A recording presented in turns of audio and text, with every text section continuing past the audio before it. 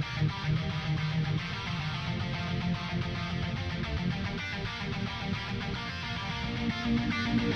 you.